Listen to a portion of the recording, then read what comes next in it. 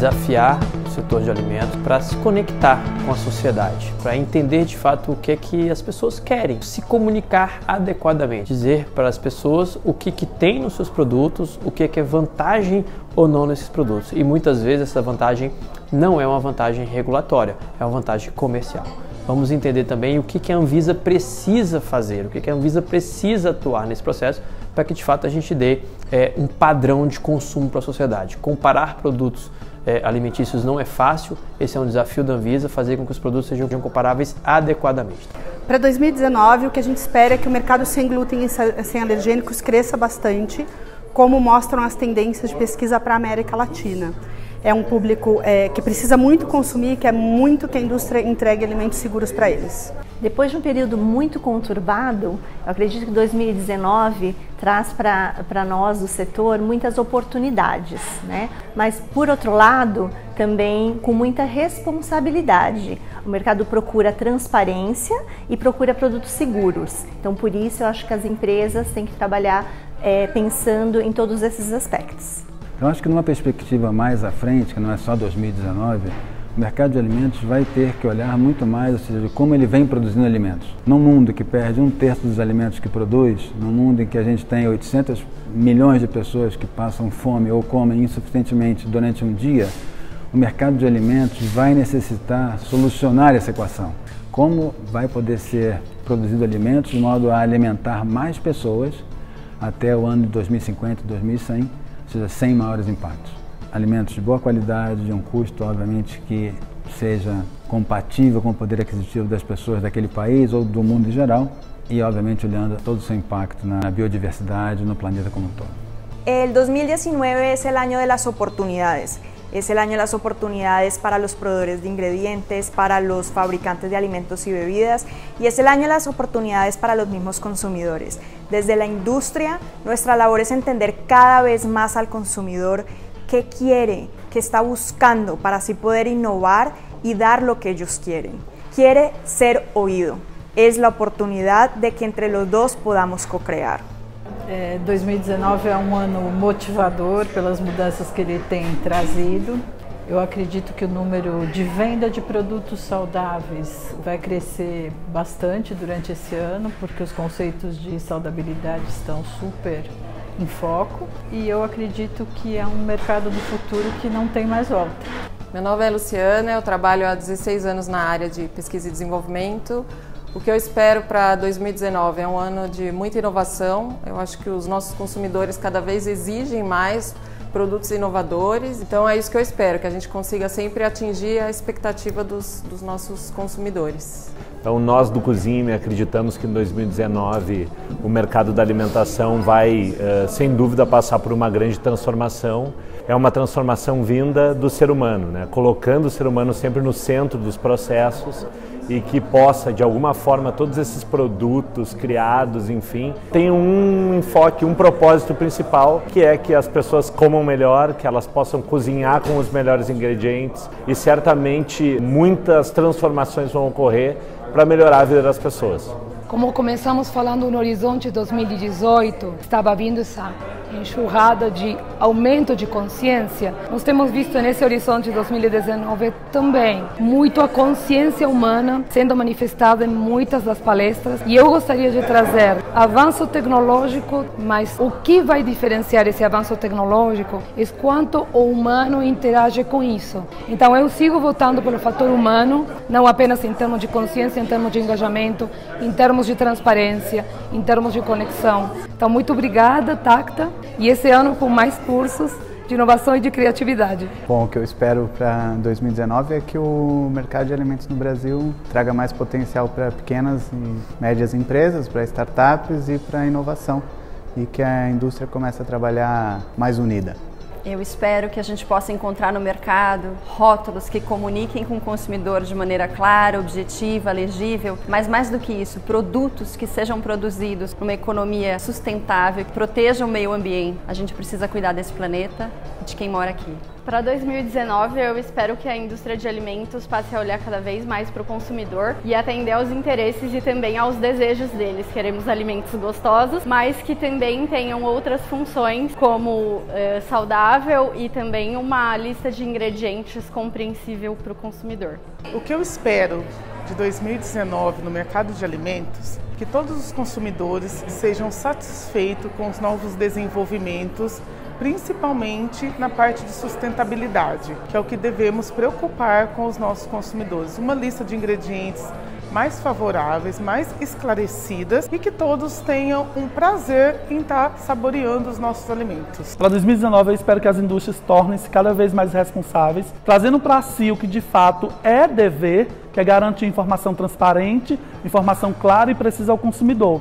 Lembrando que a indústria também é um consumidor e esse é o princípio que deve ser respeitado e garantido. O que eu espero do mercado de alimentos em 2019 é que a gente se recorde que alimento não é só nutrição, alimento não é só combustível, que o alimento ele promove conexão, ele conta uma história, ele é altamente simbólico e que a gente saiba capturar esses símbolos e respeitá-los também e que com isso a gente consiga trazer um novo paradigma para a indústria, para os serviços, para o mercado de alimentos como um todo. Eu quero crer que 2019 reserva mais cuidado nas relações, mais disposição para o comer como um ato social, que o mercado vai se interessar cada vez mais pelas plantas alimentícias não convencionais, mais consideração da parte da indústria de que o consumidor tem valores éticos, de que o consumidor não está contente com meros atos de greenwashing, o consumidor quer um propósito, o consumidor consumidor quer um produto de boa qualidade, um produto limpo e um produto justo.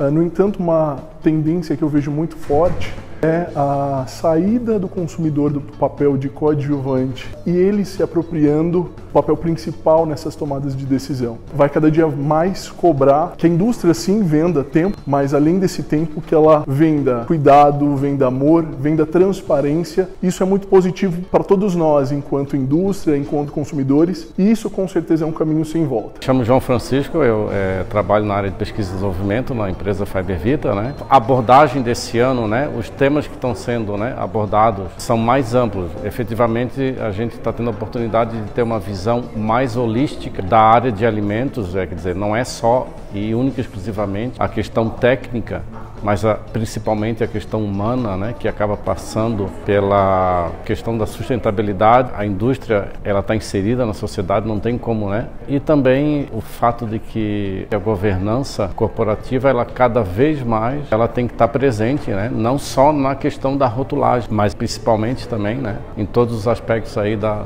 empresa.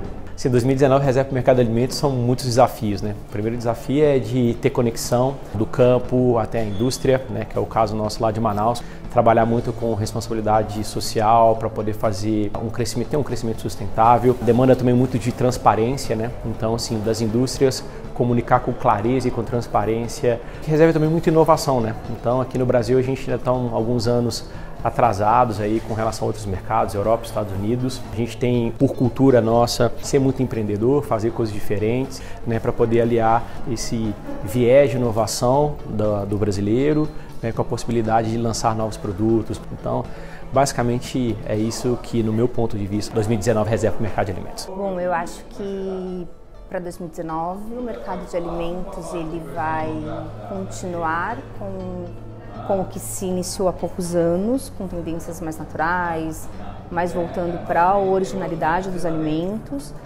Mas uma coisa que eu enxergo que é o, o crescer de empresas pequenas, de startups, que, que vem trazendo novidades, inovações é, e que talvez hoje sejam pequenas, mas que mais para frente podem ser muito grandes. Então, eu acredito muito no crescimento desse tipo de negócio para 2019.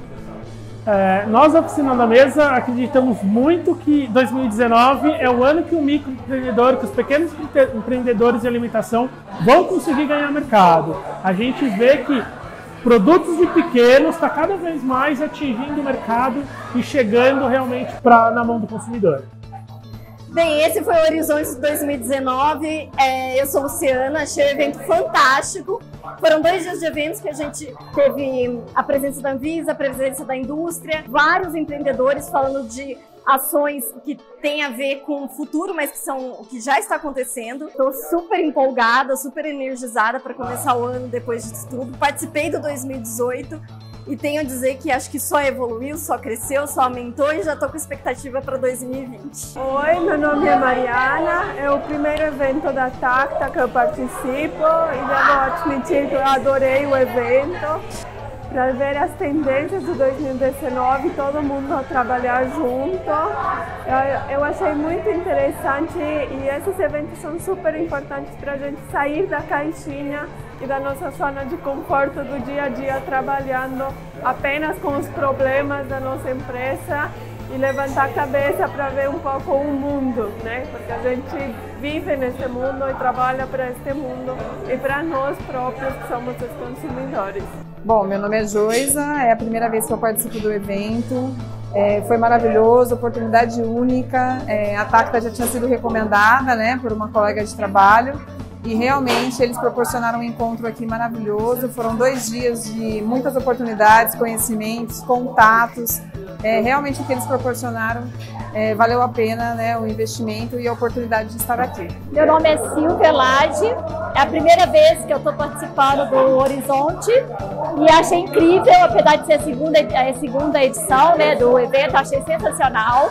É, eu sou uma pessoa extremamente curiosa, sou engenheira de alimentos e eu achei incrível um evento que une várias vertentes da área de alimentos da parte de P&D, qualidade, gestão, regulatórios. Então foi incrível fazer essa sopa de letrinhas aí com a galera. Obrigada. Bom, em nome da Saporite do Brasil, gostaria de parabenizar o evento Horizonte 2019, nessa edição aqui de São Paulo. A Saporite como patrocinadora, foi um grande prazer estar aqui nesse evento, reunindo grandes nomes né, do ramo de P&D, a parte de direito, jurídico, que assim, esclareceram muito e eu acho que é um evento que só tem a agregar cada vez mais né, em questão de tendências, de inovação e integrar a indústria de um modo geral com os consumidores com esse mundo cada vez mais dinâmico que a gente se encontra. Mais uma vez, o meu agradecimento de coração a toda a equipe da Tacta, dizer que a Saporite cada vez mais estará ao lado de vocês.